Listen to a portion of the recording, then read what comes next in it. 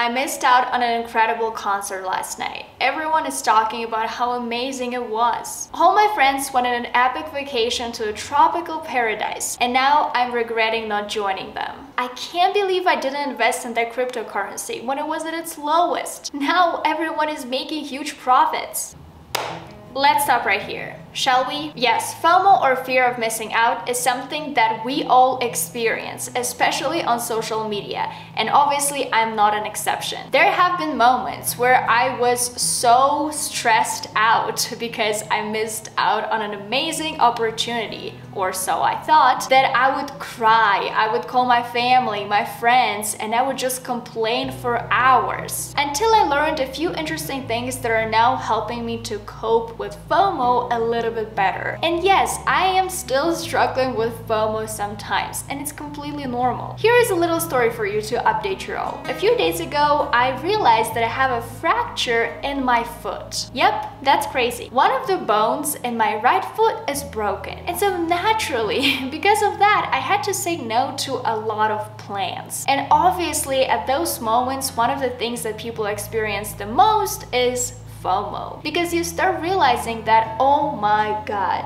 now that my foot is broken, the recovery is gonna take me a month. So for a whole month, I practically can't walk, which means that I can't do so many things that I absolutely enjoy doing, like walking, for example. It's as simple as that. So that's why right now what I'm trying to do is recognizing and accepting my own priorities. I know that I can't be everywhere and do everything, especially right now with my foot broken. I have to focus on what truly matters to me. And I know my example is probably an exception, at least I hope so. So you should try to define your own goals and priorities too. And when you see all the things that are important to you and that you have to do, this allows you to allocate your time properly. And this way helps you deal with FOMO, at least a little bit. I also want you to remember that when you find yourself thinking that the grass is greener on the other side,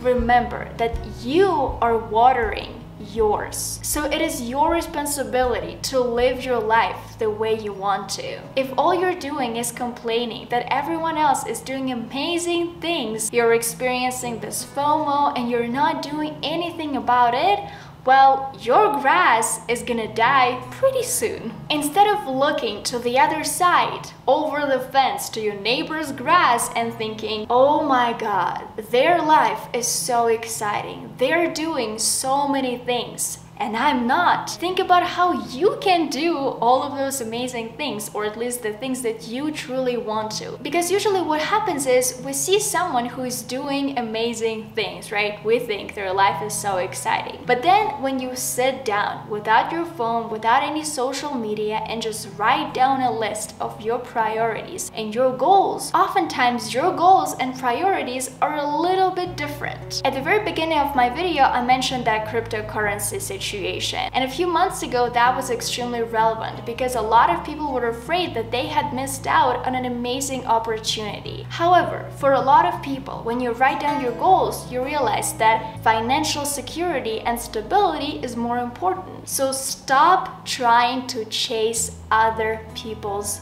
dreams. Define your dreams and start chasing after them. The second thing you can do and something that I have started doing probably a few years ago is limiting my social media consumption. You might be thinking that it's a little bit weird for me to talk about this tip, if you will, because I work on social media. However, working on social media and mindlessly consuming content on social media are two completely different things. What I have noticed is that when I scroll, just mindlessly scroll on social social media, first, I waste my time. And second, at the end of the scrolling, I just feel empty. I feel this FOMO a lot because I have seen so many videos and pictures of people being happy and, you know, sharing their lives with the world. And I am realizing that, oh my god, I'm not doing this, I'm not doing that, and it's not doing my mental health any good. And social media has accelerated this FOMO phenomenon in several ways. It provides a situation in which you're comparing your regular life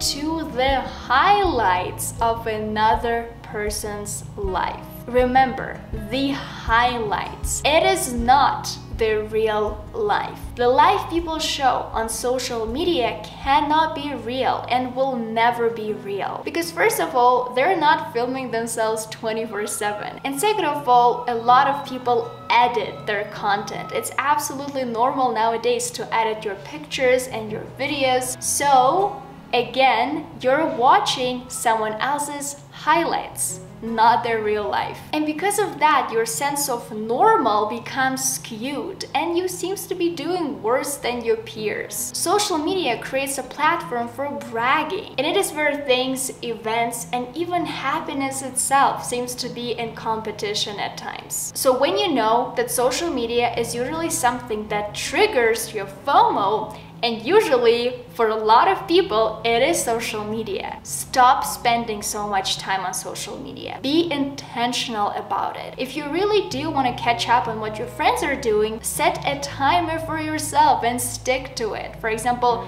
20 minutes, 15 minutes. But also when you are consuming social media, notice the people who trigger you the most. And it is absolutely okay to unfollow them. Guys, we don't have to be following everyone nowadays. We don't have to be watching all the stories, liking all the posts. If some people are triggering you, stop following them. It's not worth it. But at the same time, I want you to be honest with yourself and think about this question. Why are those people triggering you? Because usually you will find the reason very deep down within yourself. And it's absolutely worth it because this way you will learn more about yourself. Maybe you're feeling jealous or envious, or maybe you think you want to have the exact same things that this person does because you don't know your goals and you don't know your priorities. So think about that. Once you have all of those things written down, it's time to practice some gratitude. When I'm experiencing a very strong sense of FOMO, I try to redirect my attention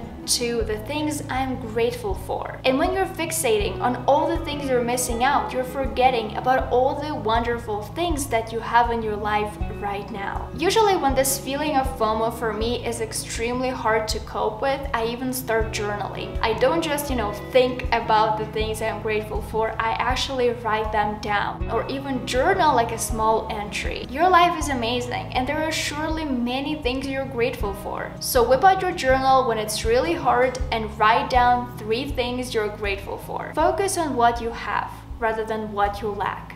And unfortunately, FOMO and social media are creating this sense of lacking with us, us, that we're constantly lacking something. And that's why we have to constantly chase after something bigger, more important, something that will make us happier, or so we think. That's why practicing gratitude and journaling will keep you grounded and focused on your life and your goals, not someone else's. And finally, I want to talk about JOMO. Do you know what it stands for? Joy of missing out instead of FOMO, fear of missing out. So it's all connected to embracing this fear of missing out on purpose. For example, at the beginning of the video, I talked about a concert I missed because I think I was sick and that's why I couldn't go. So I was experiencing FOMO and I was not happy about that. I really wanted to go to that concert because I knew it was something that I would enjoy a lot. That experience with the concert taught me one thing, that sometimes I should experience FOMO intentionally. For example, when my friends are going out and I'm not really sure I want to go, I will intentionally miss out on this opportunity and stay home. I will embrace this idea of JOMO and savor the freedom it brings. For me, staying in and disconnecting from the outside world is definitely a form of self-care. I think when I intentionally choose to miss out on certain things, it makes me me a stronger and more resilient person. It makes me realize that not attending a concert or not buying a pair of sneakers I really wanted to get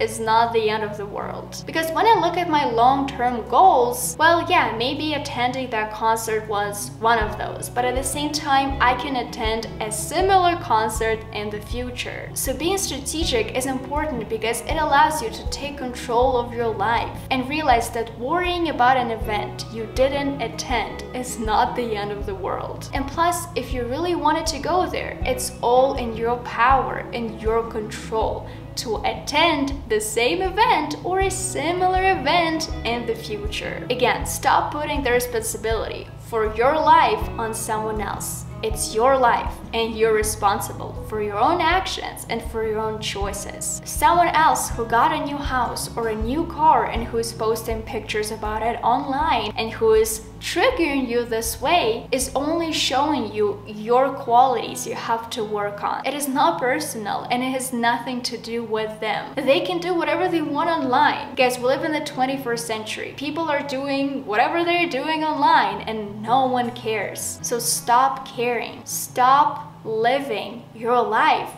through the lens of someone else's and start living it the way you want to and the way you aspire to. So that's how I deal with FOMO and I hope this video will help you work through the fear of missing out when you're experiencing it. And as always, I'll see you in my next video.